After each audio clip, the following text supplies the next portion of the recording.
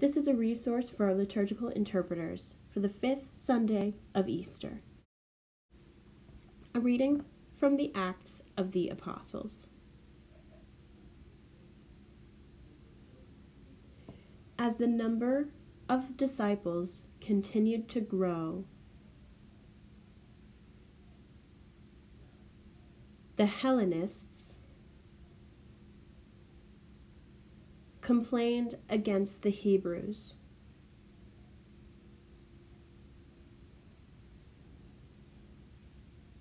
Because their widows were being neglected in the daily distribution.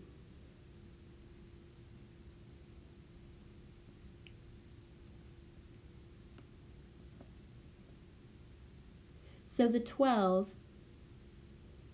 called together the community of disciples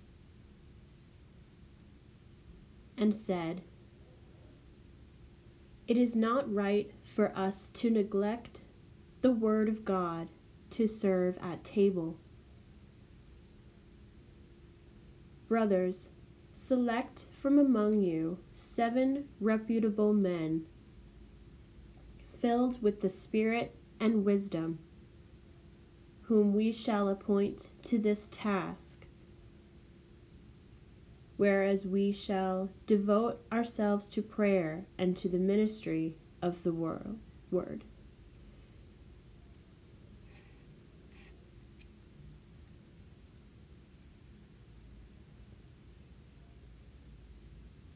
The proposal was acceptable to the whole community, so they chose Stephen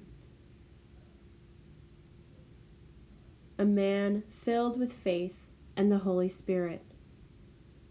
Also Philip, Prochorus, Nicanor, Timon, Parmenas, and Nicholas of Antioch, a convert to Judaism. They presented these men to the apostles, who prayed and laid hands on them. The word of God continued to spread, and the number of the disciples in Jerusalem increased greatly. Even a large group of priests were becoming obedient to the faith. The word of the Lord. Thanks be to God. Psalm Lord, let your mercy be on us as we place our trust in you. Lord, let your mercy be on us as we place our trust in you. Exalt you just in the Lord. Praise from the upright is fitting. Give thanks to the Lord on the harp. With the ten stringed lyre, chant his praises.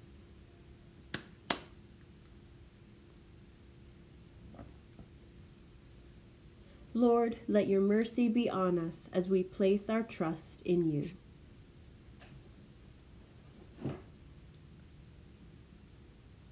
Upright is the word of the Lord, and all his works are trustworthy. He loves justice and right. Of the kindness of the Lord, the earth is full. Lord, let your mercy be on us as we place our trust in you. See, the eyes of the Lord are upon those who fear him, upon those who hope for his kindness, to deliver them from death and preserve them in spite of famine. Lord, let your mercy be on us as we place our trust in you. A reading from the first letter of St. Peter.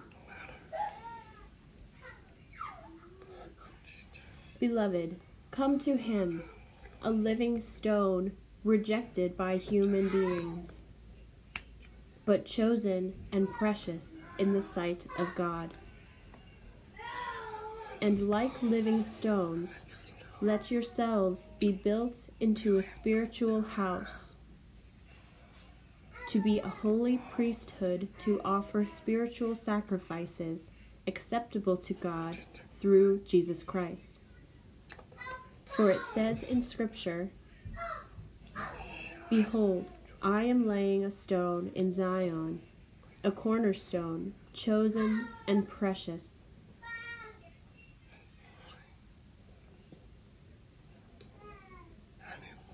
And whoever believes in it shall not be put to shame. Therefore, its value is for you who have faith but for those without faith. The stone that the builders rejected has become the cornerstone, and a stone that will make people stumble, and a rock that will make them fall. They stumble by disobeying the word, as is their destiny.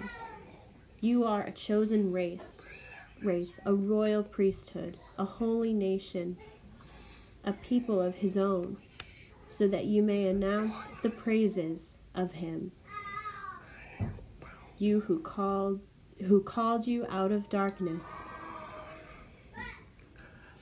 into his wonderful light.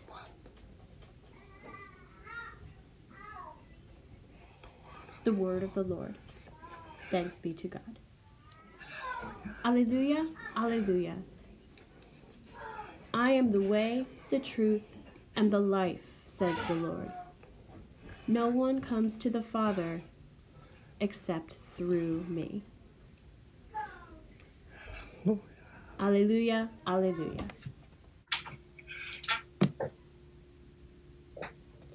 A reading from the Holy Gospel according to John. Jesus said to his disciples, do not let your hearts be troubled. You have faith in God. Have faith also in me. In my Father's house there are many dwelling places.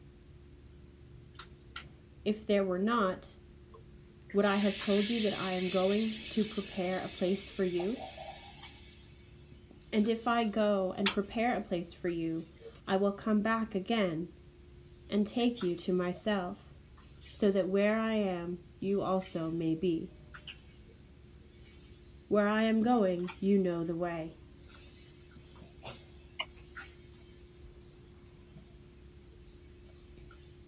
Thomas said to him, Master, we do not know where you are going.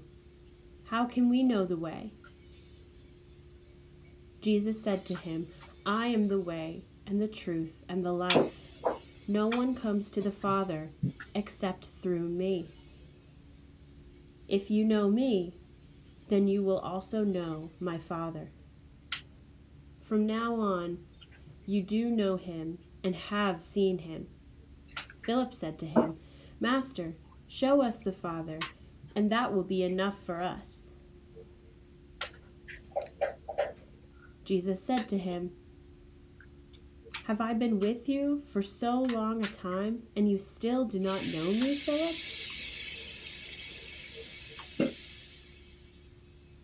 Whoever has seen me has seen the Father. How can you say, Show us the Father? Do you not believe that I am in the Father and the Father is in me? The words that I speak to you, I do not speak on my own. The Father who dwells in me is doing his works. Believe me that I am in the Father, and the Father is in me.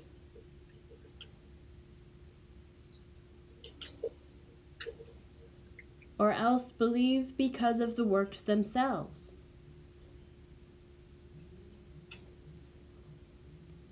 Amen, amen, I say to you, whoever believes in me will do the works that I do, and will do greater ones than these.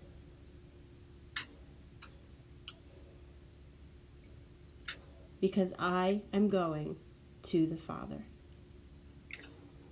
The Gospel of the Lord. Praise to you, Lord Jesus Christ.